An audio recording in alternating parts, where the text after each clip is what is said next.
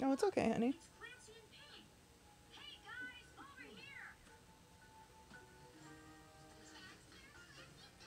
Now he's going to town.